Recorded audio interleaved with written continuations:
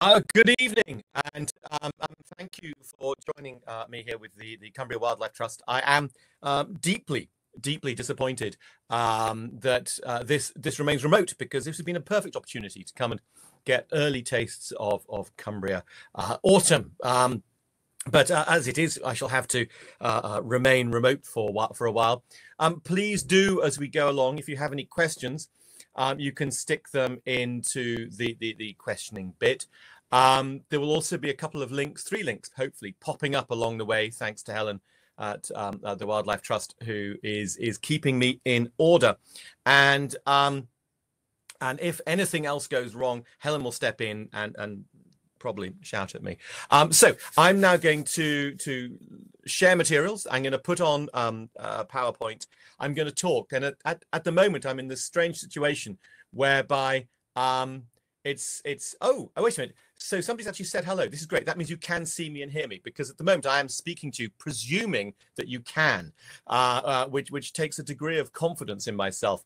Um, so uh, um, thank you very much for uh, uh, noticing that. Um, oh, recognizing. Yes, thank you. Thank you, Jill. Good.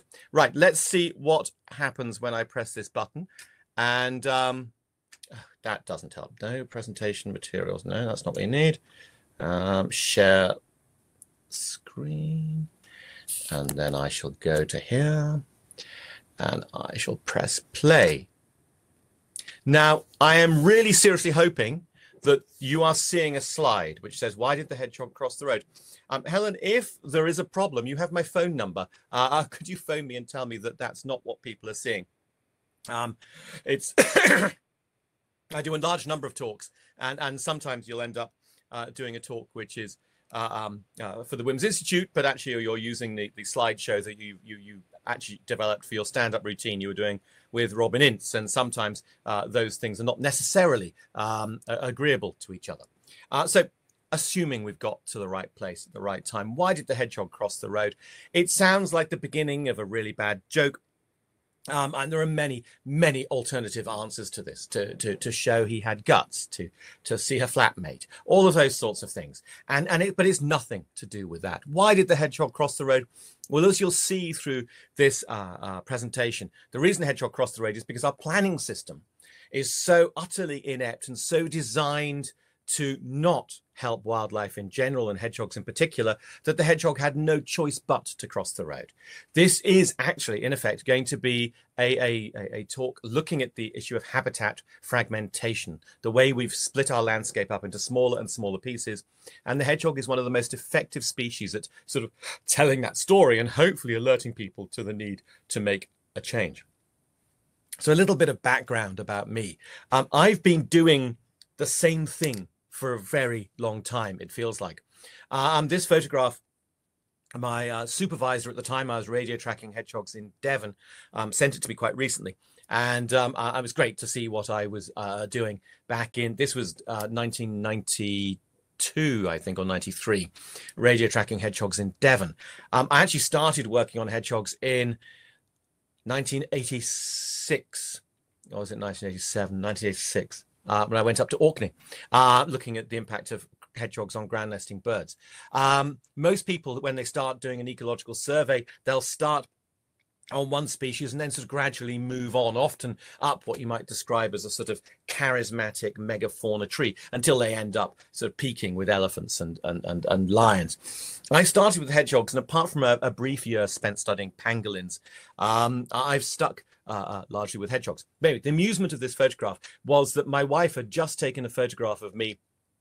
So I say it was about three years ago, and basically nothing's changed. Uh, the only only difference really is that I, am now encouraged to wear gloves in photographs when handling hedgehogs uh, because they carry all sorts of zoonoses. I mean, it's something which um, is is inevitable, really. I mean, these they, they carry salmonella, they carry uh, um, all sorts of uh, uh, bugs, and um, the, the, they carry ringworm, um, which I, again I was I was sort of aware of, but wasn't really anticipating a problem. But when I was um, doing some uh, research, going and visiting a, a bunch of hedgehog rescues, uh, I um, I met a woman who ran a hedgehog rescue, and a lot of people who run hedgehog rescues, and I'm sure there will be some people there who are involved with hedgehog rescue.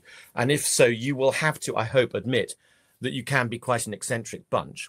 Anyway, this particular uh, uh woman was telling me the story of how she'd gone to the doctor with with a horrible uh, growth on her nose, and she was really worried. She'd got skin cancer, and uh, so she went to the doctors, and the doctors immediately reassuring and just saying, no, no, it's definitely not skin cancer. In in, in fact, it's it's very unusual. Um, you you appear to have ringworm on your nose. How on earth um, could you get ringworm, which is a contact-based infection? How could you get ringworm on your nose? Have you come into close contact with any animals? And it was at that point she had to admit uh, um, that she used to kiss a lot of her hedgehogs good night. Um, so anyway, if you take nothing home from this lecture, uh, uh at least maybe uh, um, take the message of not kissing hedgehogs. Anyway, so I, have done a lot of, of the same sort of things. I, I, in between, I've gone off out to the Outer Hebrides campaigning um, uh, uh, to stop hedgehogs being killed. Um, and that uh, uh led me, they, they were being killed by the RSPB and um, uh, Scottish Natural Heritage, as they were at the time, uh, to try and control their impact on ground nesting birds in the Outer Hebrides. And so, so, through all of this, I sort of developed a bit of a hedgehoggy profile and um, ended up writing books um, um, accidentally wasn't planning on writing books um, and I, have written books about other things too uh, but um, three of them so far about hedgehogs uh, when, when i told my wife i was writing a second book about hedgehogs she became a little bit miffed uh, then there was the third book about hedgehogs. I haven't actually told her yet that I've got a fourth book about hedgehogs I want to write as well. Uh, the first book about, uh, well, the first book I wrote, uh, A Prickly Affair, um, is, is, is, all about the natural history of hedgehogs. Oh, I should say, you see, if I was doing this in person, not only would I have the, the benefits of, of uh, your wonderful in person hospitality, I'd have the benefits of your gorgeous landscape, but I'll also have the benefits of standing in front of a room full of you with stacks of books, hoping at the end you'll be so moved as to um, step forward and, and buy them. So, so this is by means of a really subtle advert. Um, you know, Christmas isn't far away uh, and uh, um, um, books would make a wonderful present. Anyway, so the first book, A Prickly Affair, remains the only book in print, in fact, um, to have endorsements on the cover from both uh, Jeanette Winterson, um, the, one of the greatest uh, living writers in the country, and Anne Widdecombe. Um, and uh, this is, I think it's been shown to be the only thing these two people agree on, is the wonderfulness of hedgehogs. Uh, the second book I wrote was about the iconography of the hedgehog. And then more recently, uh, last year, in fact, um, the hedgehog book is a, a, sweet little book from Graffeg. And, um, and whilst we're on the subject of sweet little books from Graffeg, uh, this is a really shameless plug because um, a week on Thursday, da-da, my new book comes out. Um, i have written a book about beavers because it's important to realize there is more to me than just hedgehogs. Uh, and um, um, the the Beaver book is just a, a, fan. It's fantastic fun for me because I've had a whole uh, a chunk of time delving deep into the world of this amazing ecosystem engineer, and and I finished writing the book in May, and then just there's been non-stop stories of, of different areas, different wildlife trusts um, taking beavers under their under their wing. I, I, don't know what's going on with Cumbria. I know that Derbyshire um, released beavers last weekend. I think it was. So it's it's absolutely wonderful to see that this this once hammered beast um, is now being being uh, reintegrated back into our ecosystem. It will be interesting to see, as I say, if somebody drops a note, I'll see it at the end, uh, whether Cumbria has beavers planned for launch in the near future. Um, I am also the spokesperson for the British Hedgehog Preservation Society. Uh, basically, what it means is when there is a hedgehoggy story going on, I get lots of phone calls from from the press um, and, and it, it, means that that my natural uh, uh, fondness for talking about hedgehogs mixed in with with my tendency to be a show off get, gets perfect perfect attention. Um, uh, but it's, it's also the Hedgehog Society. We help fund a lot of the research which goes on because what we really want to do is make sure that the the uh, conservation messages that we put out are uh, based on robust science. There's no point you know, making stuff up because we need this to be properly robust science. Um, and I have over the over the years, people have often asked me why I keep going on and on about hedgehogs. And um, actually, there is a very simple reason, and this this this slide is based around it. Every time there's a vote or a poll, the hedgehog wins for the nation's nature icon, favorite wild animal, favorite mammal. The hedgehog wins, and this may seem like the most trivial of reasons to be spending time talking about hedgehogs. But as, as a wildlife trust, I'm sure you are trying to raise the awareness about a whole range of complex issues which affect the overall wildlife that is sort of under your your your auspices. And you know these will be things to do with with the transport infrastructure, with agricultural policy, with planning and development, with climate change. All of these different things can be quite prickly issues. Um, but and and and you can use they will divide opinion, many of them. But if you start the conversations with talking about hedgehogs, people will be listening because they're not going to be immediately uh, uh, having their backs up because something in there is bothering them. You start talking about badgers or you start talking about foxes, you're bound to get a reaction. Um, and this is something which the hedgehog really overcomes. Just so there is a really good reason for this. My my passion, my love is for nature. I, I, love the natural world.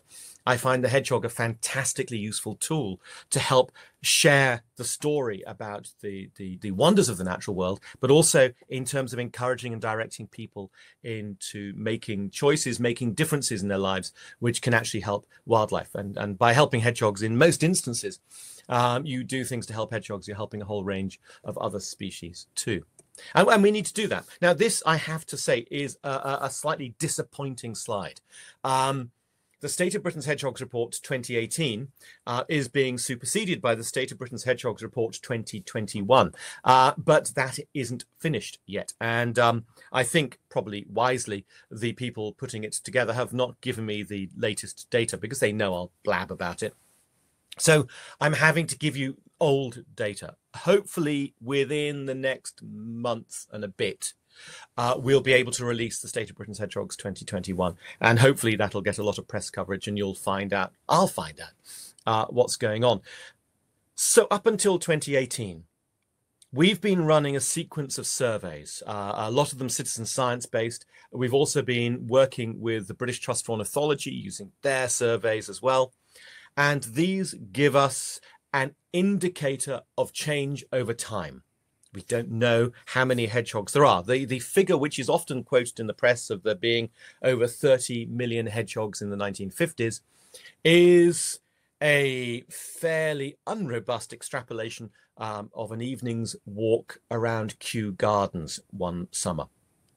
So, you know, this is this is is not something which is robust. What is robust is that between the year 2000 and 2018, urban hedgehog population was down 30% and rural hedgehog population was down 50%.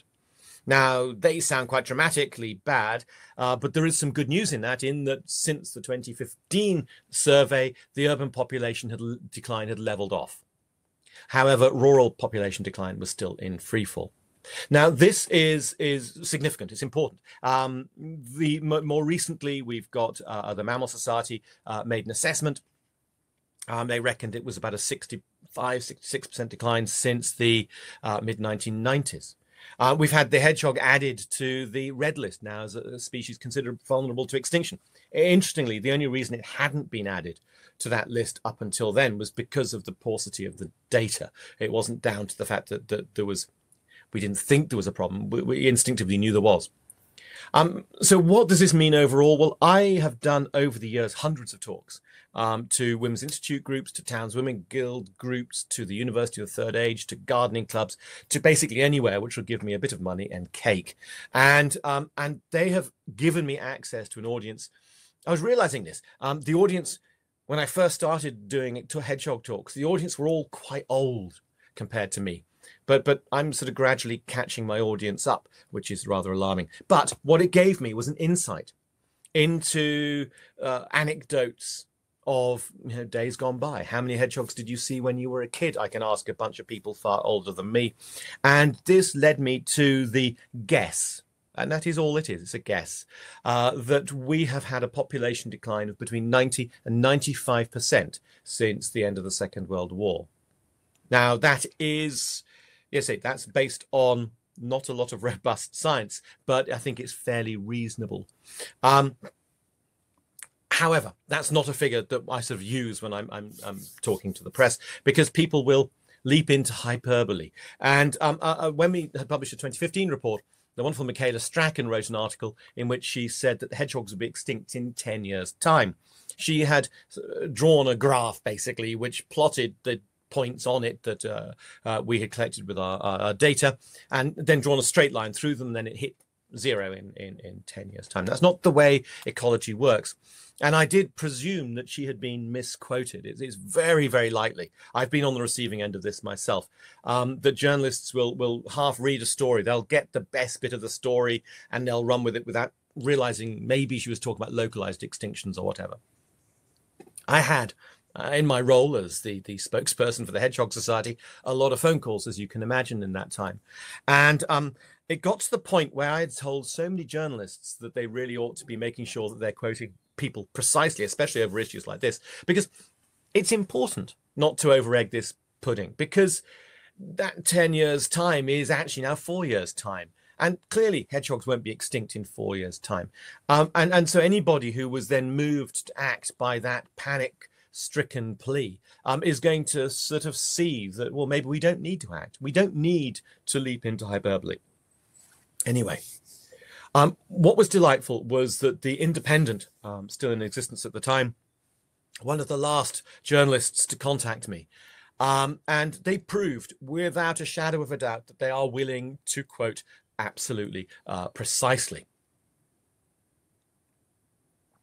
Um, I do also uh, run courses on how to deal with the media. And the first one is never just say what's at the top of your mind. Um, do think first before you speak when uh, being interviewed by a journalist. Um, so, yes, I find it interesting that the hedgehog that the Independent used to use for nearly all its stories was this particular picture. And, and there are three clear indicators uh, um, here that this is a hedgehog in trouble. It, it's out in daytime. On the whole, hedgehogs out in daytime are ill. It's got ticks all over its face, and and it just looks poorly. Um, this is a, a, a, typical ill hedgehog, and I'm really hoping that the photographer uh, took the photograph and then took the hedgehog to a rescue center. So anyway, we don't need hyperbole. The situation is bad enough as it is. Um, but the question is, how have we got to this position? How has the population declined by in rural areas 50% since the turn of the century um, and continues to be in free fall. Well, part of it, most of it, is fairly predictable. Um, Dave Goulson's uh, fairly recent report looking at um, the the uh, numbers of applications of biocides to industrial agricultural crops showed that on on average there are 17 different biocides applied to a crop. So that, that's not 17 different outings with tractors, but um, you know there are tank mixes. But this means you know molluscicides and herbicides and fungicides and and insecticides and, and, and all sorts of things out there. I mean, you can't grow a crop of oilseed rape like this without an awful lot of, of um, uh, uh, molluscicide. And uh, what this does, and, and this is this I should say, this isn't a farmer bashing thing. This is a, a reality thing if you are trying to to to make a profit um, you need to deal with the competition. The unfortunate thing is that in this instance, um, the competition happens to be hedgehog food and toad food and bat food and, and farmland bird food. And so what we've done is create an ecological desert over much of the, the countryside. Um, and you add into that that you, you think of the name hedgehog um, and, and it, then you ask yourself, what is the favorite habitat of, of the hedgehog? And obviously it is the hedgerow, it's the woodland edge. They're a woodland edge specialist. And we have done amazing things for hedgehogs in our landscape, um, admittedly uh, at the expense of at the expense of the um, once thriving uh, um, uh, community-based uh, uh rural uh, uh, population um, who in the 18th century in particular were, were totally disenfranchised by the Enclosures Acts. Um, but what happened is, is, that the, the land was enclosed by rich people coming back with money they'd made out of slavery, and um, they had to enclose them using hedgerows. And where there weren't hedging opportunities, they used dry stone walls. And this chopped the landscape up into lots of little pieces which they could own, kicked poor people off the land into the poorhouses and the Industrial Revolution, and created an amazingly increased amount of hedgerows for hedgehogs to be able to move through the landscape. So, yeah, mixed things. However, the removal of those hedgerows then further sort of fragments the landscape, chops it up into little pieces. You have an enormous field of oilseed rape, And um, there's no incentive for a hedgehog to walk into that because there's no food there and there's no shelter. And they can walk around the edges of it until they find themselves a hedgerow. But these hedgerows and these fence lines and these walls are further and further and further apart, meaning that the, the, the ability to move through the landscape is curtailed. Um, this is where I will sometimes uh, um, lose friends. Um, I gave a, I was doing a, a, a talk at the Beaver Trust. Uh, Beaver? I've got beavers on the brain. Sorry, Badger Trust. Um, at the Badger Trust AGM uh, a few years ago. And Dominic Dyer was the boss at the uh, Badger Trust at the time, and and it's sort of in a stage whisper as he walked me up onto the uh, onto the stage. He uh, he sort of said to me, um, I, "I've left the fire exit ajar so that you can get out all the quicker," because he knew that I was about to upset a bunch of badger lovers. Um, you will find maybe not with a wildlife trust because you may be a little more ecologically articulate. However, um, you will find often that there are two groups of people when it comes to the badger, um, and that there are those who believe that the badger can do no wrong, that in the pantheon of all that is good, uh, you know, the badger is up there with, with Lady Di and, and, and uh, Mother Teresa. Um, and then there are those who know with equal vigor uh, that the, the four horsemen of the apocalypse had a pet Badger, um, and that badgers are responsible for everything from Brexit to COVID to Donald Trump and Boris Johnson. Um, all of these things caused by this one evil creature. Now, uh, what I then have to do is apologize for what I'm about to say.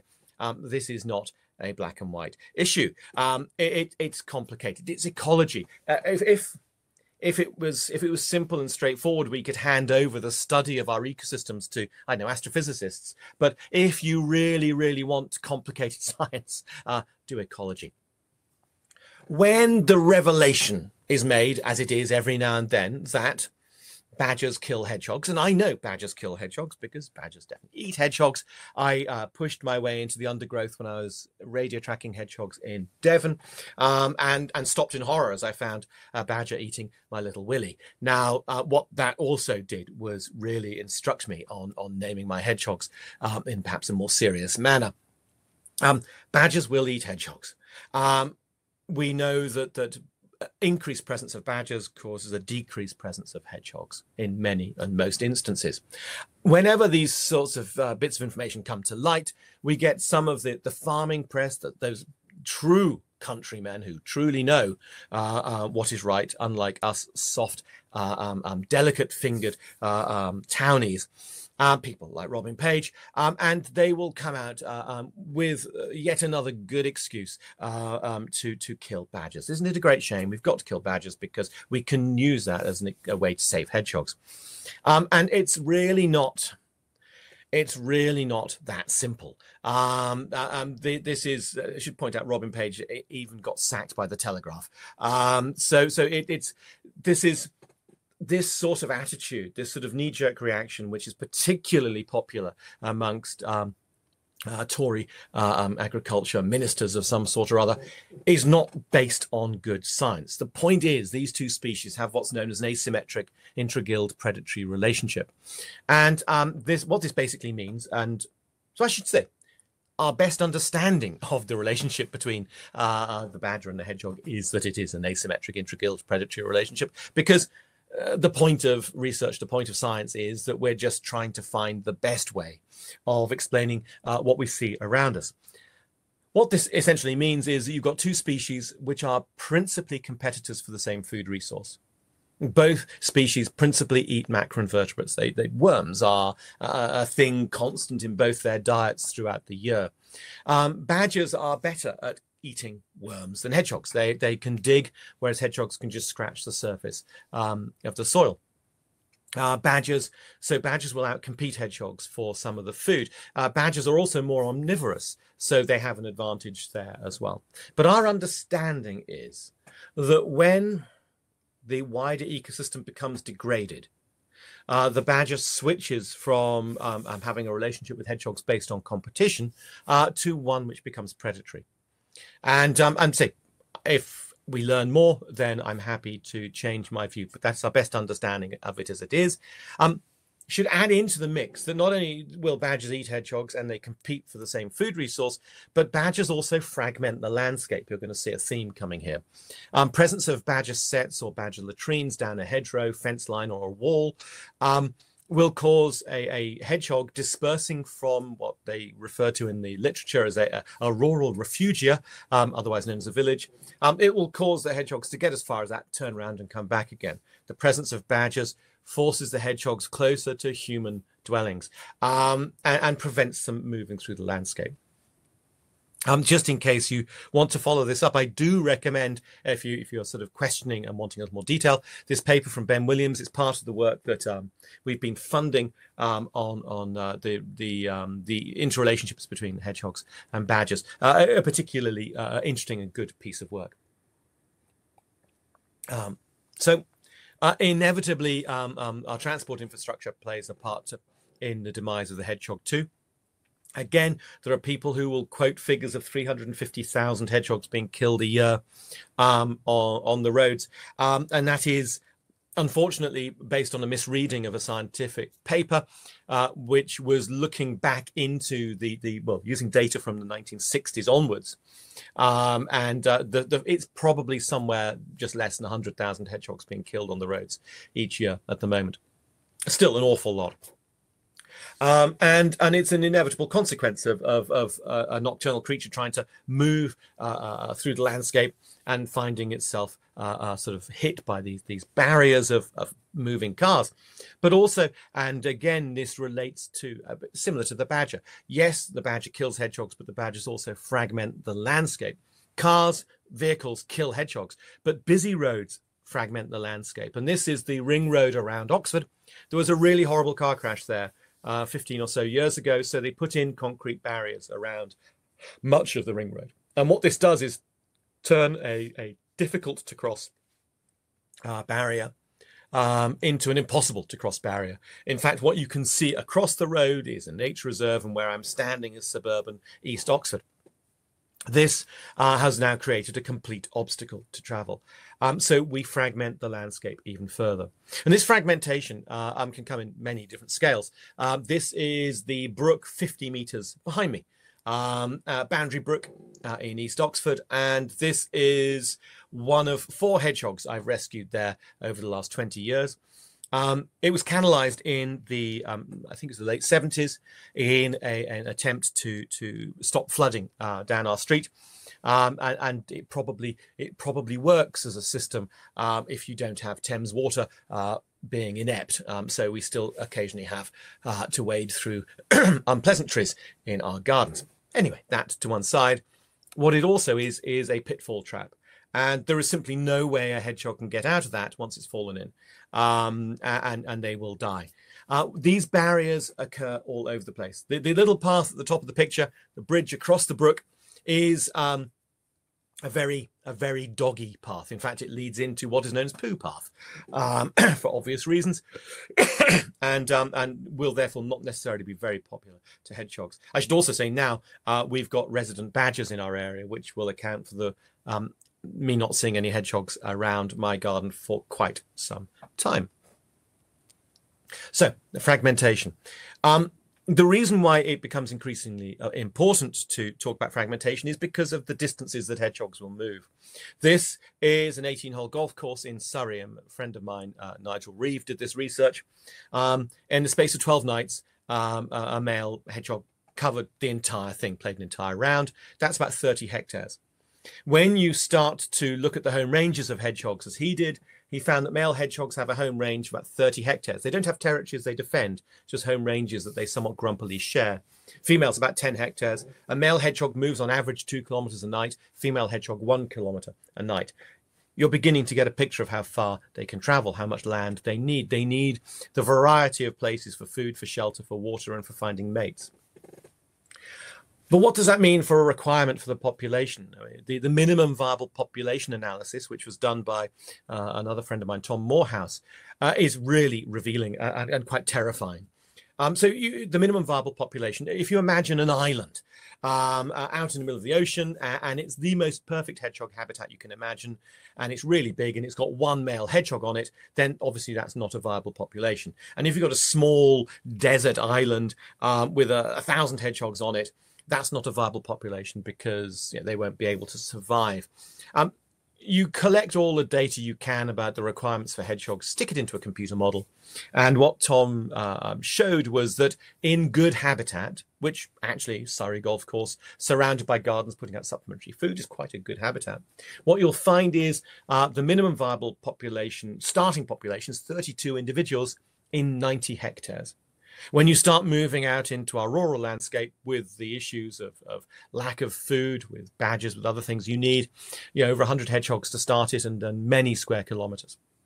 But still, in our urban landscape, you need nearly a square kilometer of unfragmented landscape to have a viable population of hedgehogs. And that's where you start to see the problem. Where do we have a square kilometer without a, a, canal running through it, a busy road running through it, a line of fences for new housing development? All of these things having that sort of impact. Now, this is possibly my favorite little graphic um, of all time because uh, when I was radio tracking hedgehogs, you were out all night and frequently the pouring rain, um, um, getting cold and, and, and struggling to keep up with your hedgehogs. Uh, now, uh, researchers at um, this was actually University, uh, Nottingham Trent University students working in Brighton stick GPS tags on the hedgehogs. Now, have a look at the way they move. These are the red one in particular, male hedgehogs. So the red, the green, the pink, and the yellow are male. They move much further. Um, um, obviously, speeded up daytime. Now the hedgehogs are static. Um, I find it interesting. Eight o'clock, they start moving again. And um, you can see in this housing estate how many gardens a lot of these hedgehogs are actually going through and going between. How many times they're crossing these small roads in a housing estate and I think it's uh, um, deeply uh, uh, um, educational and, and somewhat worrying about how much space they need. And um, also, it makes me realize that um, I should have been born a little bit later uh, because it would have saved me hours and hours and hours of really cold and lonely work. So you can see the sorts of distances I'll travel. So this obviously this led to uh, um, all of this information uh, fed into the launch of our campaign Hedgehog Street, uh, the collaboration between the Hedgehog Society and the People's Trust for Endangered Species. And uh, this is our 10th anniversary. Uh, rather pleased with that. And in fact, just today, um, I have been involved with the judging of the, the, the Hedgehog Street Bake Off. Uh, we've been having a, a cake competition. Um, unfortunately, it's all being done remotely, so I've just been having to judge cakes um, on their aesthetic appeal. Um, I'm getting good at this, uh, and uh, but yeah, we're having some fun with this. We just got over a hundred thousand um, champions, hedgehog champions, signing up to the Hedgehog Street campaign. Uh, it's all free, obviously. Just just sign up and and and share your data. Uh, I, don't need your personal data. I mean your sightings of hedgehogs, all that sort of thing. This is really important. We've got the big hedgehog map, for example. And the main part of it, the simplest part of it, is to connect your gardens. Now, I find this particular approach of campaign really interesting because we've got some enormous issues about the transport infrastructure, about the way we grow our food, about the you know, climate change, about everything else going on out there, about badgers. We can't affect that so easily ourselves. Um, however, we have a patch, many of us are lucky enough to have a patch of land which we can have an impact on. We can turn our gardens into wildlife friendly places and we can make sure they're connected. Um, do not um, um, employ me um, to make holes. I borrowed a, a, very terrifying drill and drill bit, and I found the entire process uh, um, really, really, I should say, terrifying. I'm not designed to use power tools, I reckon. Uh, it took an hour to get through a double skin wall like that, but we know it works because we have a stunt hedgehog with us, and um, we get it. That was a 127 millimeter drill bit. We're aiming for a 13 centimeter square hole, but that's the easiest thing in terms of drilling. And um, this has been part of our campaign is getting people to make holes in fences. Obviously, um, you can get an angry hedgehog and a big catapult and fire it at the base of a fence. Um, but uh, there are many approaches that you can take. And, and my favorite village um, is called Kirtlington, just north of Oxford, uh, foothills of the Cotswolds. And I've been to the Kirtlington Wildlife and Conservation Society to talk on a number of occasions. And I think they were beginning to get fed up with me just turning up and, and going on at them about what they need to do. And so they, they um, um, Chris Powell's, uh, who's their sort of chief organizer, um, organized a group. They got together, they got a big map of the village and uh, they looked at the minimum number of holes they would need to make in the walls to connect the maximum number of gardens. And they've pretty much connected up the entire village now using a whole array of different styles to do this, working with the churchyard, working with everybody they can imagine. Um, but Chris's garden is two and a half feet lower than his neighbour's. And I'd asked him what he was going to do about that. And he said, sort of with a smile, he said, oh, I'm going to build a staircase. So I actually thought he was joking. Um, but no, he built a staircase, and uh, um, this is one of those moments when you realise that that if you build it, they will come. Admittedly, he had been baiting you know either end of it, as it were. But on the first night, it was opened up for use. A hedgehog came out of the hole at the top and stood on the dais at the top, and then sashayed down the staircase, and it was a real indication that, that if you put the work in, these things can really, really make a difference. Um, he sent me a video from a year or so later, um, just showing you that the hedgehogs can use the staircase going forwards and backwards. And if you pay attention, you might notice uh, a design flaw.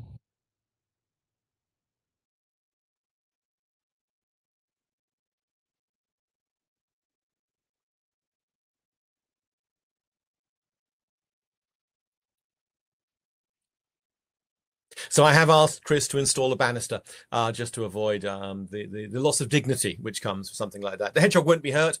Hedgehog spines are, are particularly effective shock absorbers because um, if they were direct, straight sort of needles sticking out of their skin, uh, um, any fall would have them impaled back into the body. So they they, they flex, and um, um, so they they're very effective at uh, at climbing if they need to.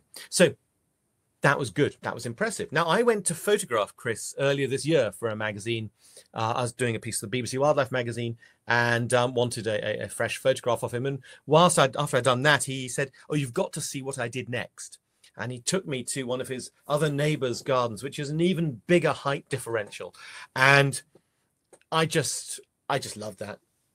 Um, this is I mean, he's covered it. I think it's, it's he ran concrete or cement down it so that it's rough as a surface.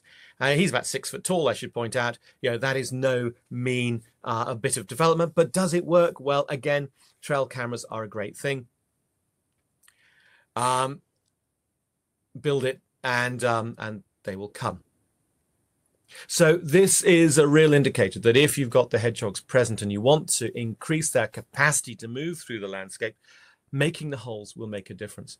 And obviously, this is something we have been pushing time and time again. Uh, we've got fencing manufacturers now actually stepping up and doing it. And then, then I had an opportunity, and this is a moment when I'm hoping that some of you might um, um, be so so kind as to to uh, take a little bit of clicktivism. Um, Change.org got in touch with me, and you know it's three years ago now that they got in touch with me. And they said, um, hedgehogs are obviously really cute and wonderful. We want you to launch a campaign that will get hedgehogs back to their former glory. And I mean, that's what they're after, the returning hedgehogs to their former glory. And I just said, this is it. I have been waiting 30 years for this opportunity. I'm thrilled. I'm delighted. Let's do it. And so they say, well, what's the thing you're going to ask for? And um, so I, I said, well, it's simple. We need to to call to dismantle industrial capitalism and replace it with something nicer. And uh, uh, um, they said they said no. Um, so anyway, we, we negotiated on back and forward. And in the end, in the end, I was almost embarrassed with what we came to to to to launch. And that was a call to have the planning laws changed so that all new housing developments had to come with hedgehog highways. But they sold it to me as you know this is a stepping stone to a bigger thing. You can use this as a springboard to talk about um, you know, all the issues helping uh, that we need to do to help hedgehogs uh, that, that you know, developers if they end up signing up to this great. But if they destroy all the hedgehogs before they build a housing estate then it's just nonsense and greenwash. So it was very much sold to me as an opportunity to take it further. And then they said and also when you do an update for the petition um, at change.org slash save our hedgehogs. When you do an update, it goes to everybody who signed. So when I got to 100,000 people signing the petition, I was thinking, you know what? Nobody's ever read uh, any of my articles uh, um, with quite, you know, I have not had quite such an audience. When I got to half a million signatures with this, um, I had, uh, um, I ended up with a meeting with the then housing minister who was really disappointing, and I've forgotten his name. Um, but anyway, it was a, a, passing moment. I met one of the bosses of the biggest um, housing developer companies uh, in in the country.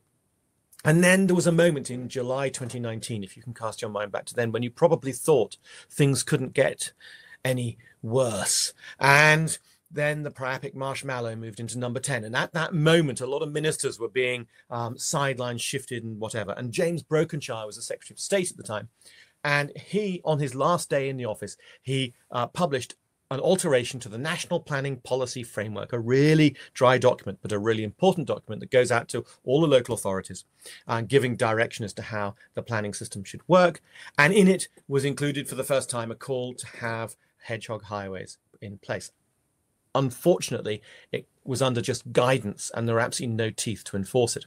Fortunately, lots of local authorities, are the planning departments, are beginning to listen to their ecologists who are saying we should make this happen it's been an amazing adventure going along with this. I've now got to over a million signatures.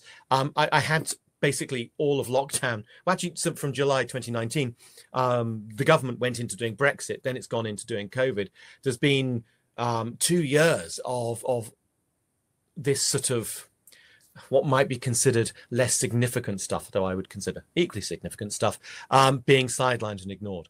Uh, now the new housing minister is none other than Michael Gove, and and having seen um, having seen him dancing on a couple of tabs in an Aberdeen nightclub, I'm now very confident that we can become best mates and that we shall be able to do something good. Um, I just had to put this up there. This was the an update from from earlier this year uh, when the BBC Wildlife magazine came out, and for a brief moment, um, I impressed my daughter. I, I don't. Any of you who've got daughters, my daughter's 18. Um, she's autistic and somewhat uh, interesting. Um, and but to impress an 18 year old autistic girl takes some doing. And this was my moment to impress her. Um, Tom Holland tweeted that I was the Lorax of hedgehogs. Unfortunately, when she discovered that uh, whilst there is a Tom Holland who is is is uh, an amazing actor and dancer and playing Spider Man, and is apparently terribly cute. Um, this Tom Holland uh, is a historian and a Radio Four, a former Radio Four presenter, and so she's been back to being disappointed now. Anyway, so we've got over a, a million people signed up. Please do sign up; it'd be lovely to have you. And if you want more information and you want to share the work you've done to help hedgehogs, I set up a Hedgehog Highways Facebook group because communication amongst a million people in a very simplistic sort of form setting is very difficult. I can't answer all the questions. There's now about nearly 19,000 members of this Facebook group. Um, and, and it's just a great way of, of, of, if you have a problem, you can ask the question, people will answer it very quickly. Um, I'm conscious um, of, of, time, um, so I will skirt over the things which, as it's a wildlife trust I'm talking to, you probably already do. Um, if you want to help wildlife, probably the simplest and best thing you can do in your garden is to put in a pond, but don't put in an ornamental pond like this, because whilst hedgehogs can swim, they can't swim forever. They need to be able to get out. Um, so if you do have an ornamental pond, put in a ramp, build a rocky beach, anything like that, so that hedgehogs can escape. Um, I won't need to talk to you about litter, but I use this picture when I'm talking to primary schools.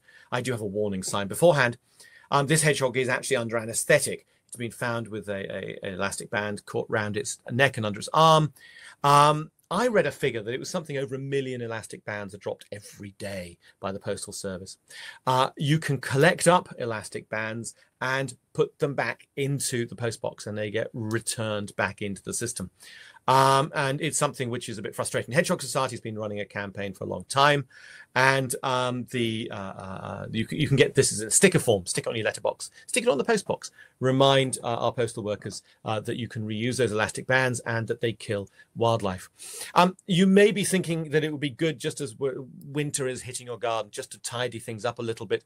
Please bear in mind that the hedgehogs hedgehogs do not have a fight or flight response, so that when they hear the noise of a mower or a strimmer, um, what they're going to do is frown. Uh, they frown, the spines come forward over their eyes and their nose, and uh, and then they roll up into a ball if they're really scared. And obviously, that's no good when you've got sharp bladed things charging towards you.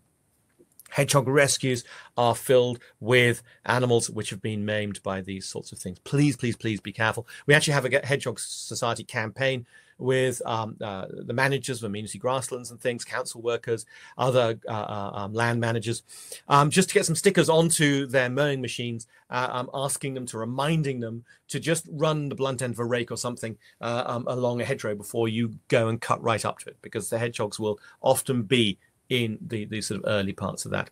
And right now, this time of year, um, if you wanted to make the hedgehog the very, very best hibernaculum, their hedgehog hibernating home, what you do is you collect an enormous pile of dried leaves and you surround it by some small sticks. And then you get some bigger sticks and then you get some logs around that too. And obviously, you've built yourself a bonfire, but the hedgehog sees quite the best home. Um, the simple thing is, uh, and there are very, very few excuses to need to do not do this, uh, but don't always light the bonfire on the day you make it. Don't let it sit there for a night so that hedgehogs and a whole bunch of other amazing wildlife will go and make its home. If you need to build it up over a few days, um, put fencing around it in the first instance, um, or the worst instance, lift it up from one side. Because as soon as the crackling sound starts and the smoke starts, the hedgehog is going to roll up into a ball. And then if you're really lucky, you do all this stuff, you may end up with the wonderful deposits in your garden um, of hedgehog poo, uh, about the size of your little finger in length, blunt at one end, uh, um, slightly pointed at the other end on the whole, often quite shiny and granular because of the exoskeletons of the insects that they have eaten. And a very, very good way of telling if you've got hedgehogs in your garden. And then if you're really lucky, you might get a bit of this.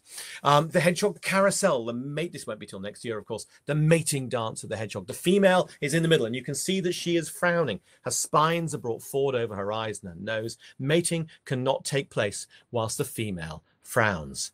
And this can go on and on. It can go on for over an hour with the male circling around and around and around. Um, it requires the female to relax for mating to take place. And um, but what it also does is it creates a, a, flattened arena of vegetation, which has led to what I consider one of the best headlines of all time. Um, it's from 1991. I still have this piece of paper in the Guardian. Hedgehogs cleared of corn circle dementia. Um, I, I, don't know if you are. I'm sure you remember, and they pop up every now and then. This this the great mystical crop circles that appear in fields in, in often in Wiltshire. Um, um, not too far from the pubs where people sit with their planks of wood and their bits of rope and their theodolites and things.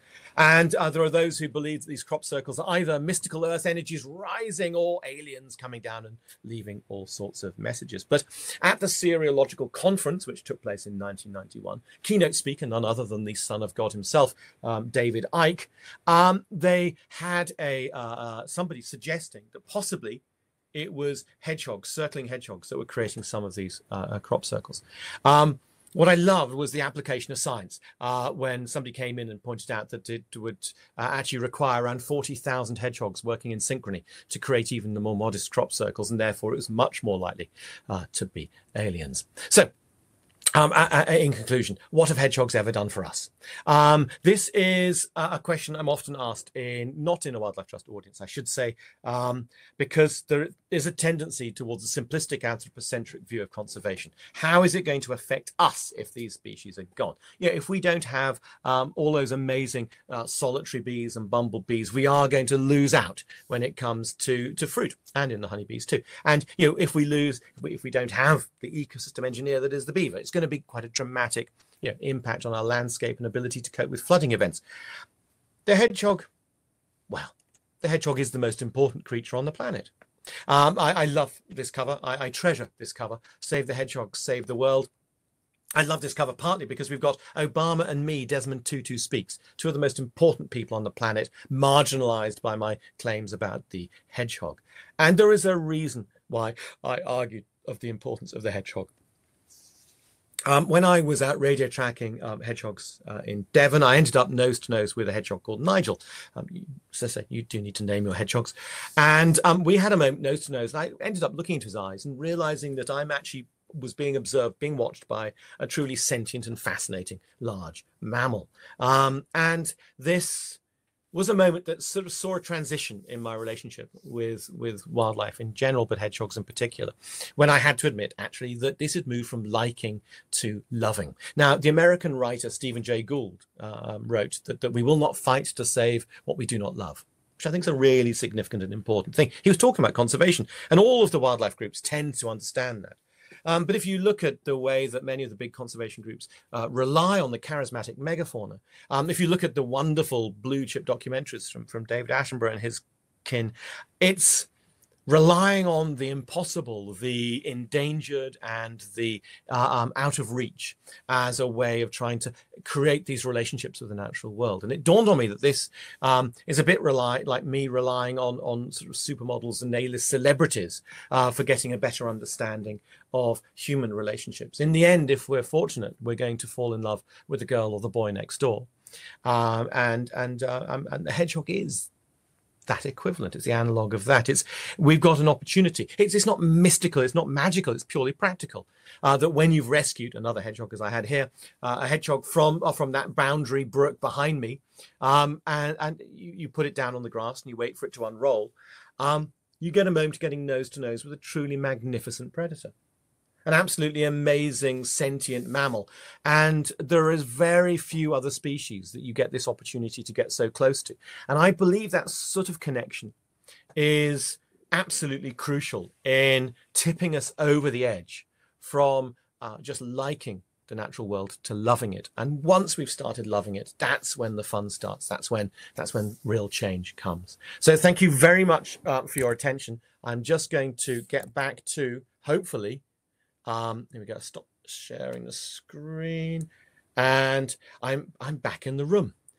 Wow, that was um, interesting. Now I've got to think. There's I've got to start looking at questions. Um, oh, difference between male and female apart from obvious. well, I was about to say, um, if it's got a willy, it's a boy. Um, if you've got a hedgehog um, in your hands and it unrolls, if it appears to have a tummy button, um, then then it's a male. Um, uh, but no, you can't tell at a distance um, um, from the, on the whole males.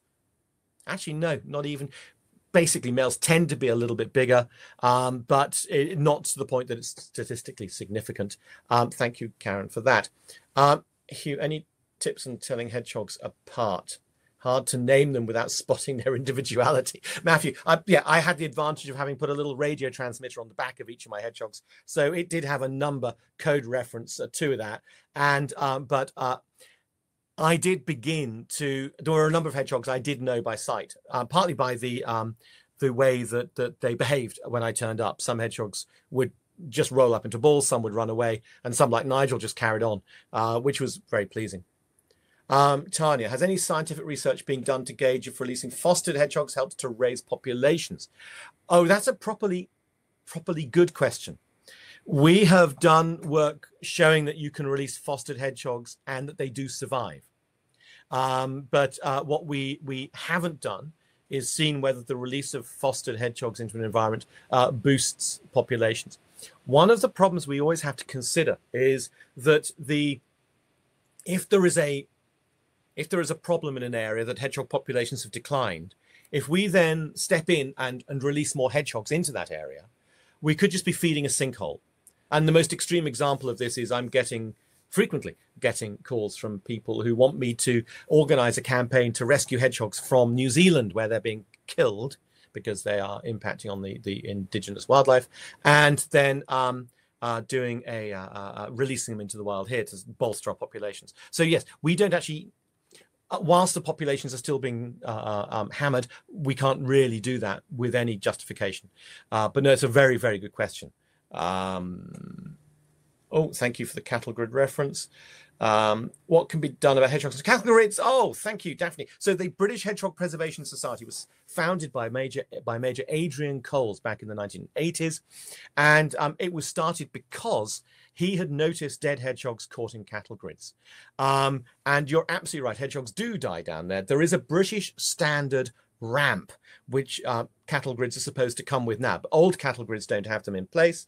Um, if literally a brick at either end um, um, is enough to give, well, a couple of bricks maybe, is enough to be able to give the hedgehogs uh, the stepping stones to be able to get out. You can see they can climb, uh, but it's a very, very good question. And please, if you do see them, um, if you do see cattle grids without any ramps or without any bricks, please do get in there and and start doing things. The uh, Nina, the, the drill bit, that was 127 millimeter core drill bit. We're aiming for 13 centimeters, the size of a CD case, as the, the principal main aim for what we can get. But in terms of drill bits, that was the most uh, accessible. Sue, I hosted a rescued three-legged hedgehog in my enclosed veg patch. As I understand, it couldn't be released into the wild. Given the space you say hedgehogs needed, I wonder how frustrated. Okay, it's it, that's a really interesting question, and, and we end up having the conversation between welfare and conservation. Um, and I'm, if you've got a three-legged head, there are some hedgehog rescues now which simply euthanize three-legged hedgehogs because they seem to turn, they seem to return to the hedgehog rescues quite often because they have a problem grooming on part of on on, whichever side is missing a, a rear leg. You you can't release uh, uh, front amputees out because they can't scratch and feed themselves properly.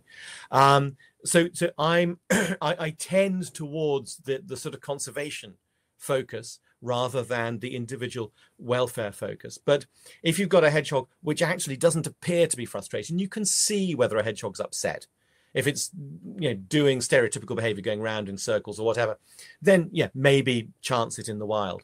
Uh, but if it appears to be one of those hedgehogs uh, and they do have very individual characters if it's one of those hedgehogs which seems to just be very contentedly going from food to water to bed then i think you can relax uh, um, uh, with that. Um, two mag- oh two yes Two magpies tried to scare my hedgehog away whilst it ate. You see, the thing about the magpies is their beaks tend, you know, the hedgehogs tend to know that's fairly safe with a magpie around. However, some corvids will go for hedgehogs um, if they are young and poorly. Uh, will you cover how we can encourage hedgehogs into our garden? I hopefully we've done that. Build it and they will come. There was a hedgehog in my garden on Friday afternoon. It ate food uh, I got from a wildlife trust looked healthy, but I'm told afternoon hedgehogs are difficult, especially at this time of year. Um, now, um, because hedgehogs are wanting to fatten up to be able to survive um, uh, their uh, when wanting to be able to su- survive hibernation, they need to weigh enough, have enough fat reserves for it.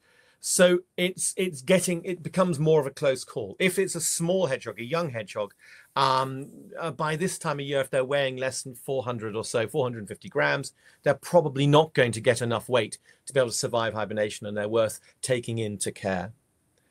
Um, questions later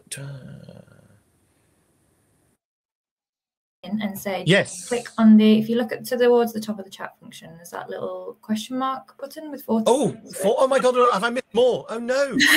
No you oh, all of them. It's just there's more at the bottom so i'm going to be here a while. Okay so uh, what rural locations do whoa let's go from the stop. How can we encourage hedgehogs without encouraging rats? A very very good question. Um, you've got rats anyway. Um, but if you're putting food out for hedgehogs google finding a feeding station um, building a feeding station. You can put food in a feeding station, and that will not totally prevent rats, but will stop other animals eating it. Two, what rural locations do? What can they do to help if we've had the space, less roads, but a bigger decline? Um, partly it's to do with um, presence of badgers.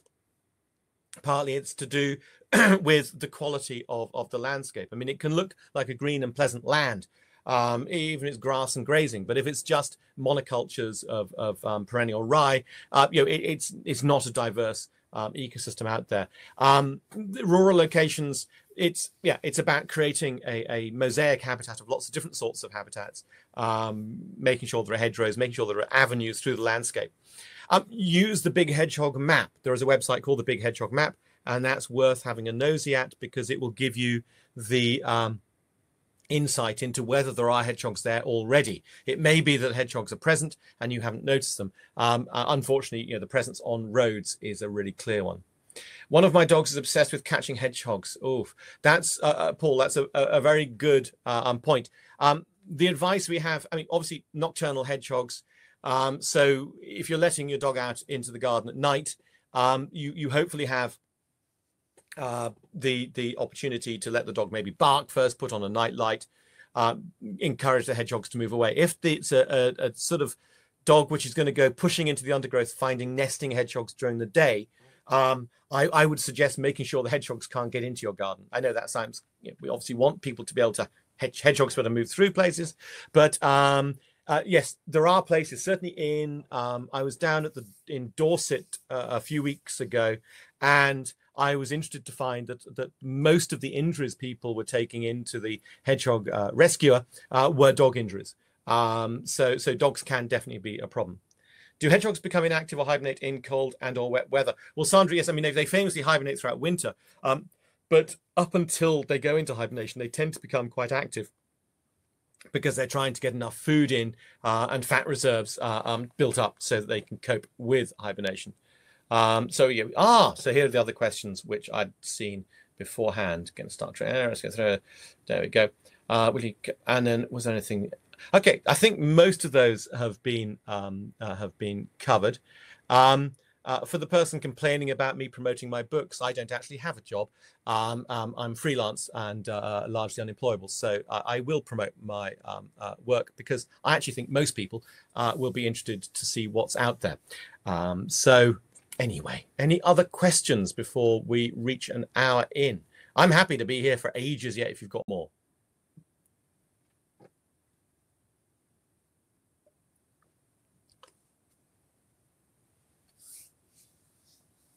Any others?